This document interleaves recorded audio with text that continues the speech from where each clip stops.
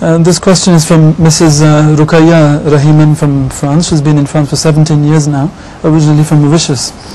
And the question is that um, in the uh, international bayat ceremony, um, when everybody was doing the sijda to sh uh, shukr, uh, to thank uh, the thanksgiving sijda we could say to Allah, then uh, many ladies who were indisposed that they did not take part in this, what is Hazur's opinion about this? Should they, could they do it or not? Their attitude of sajda is quite sufficient.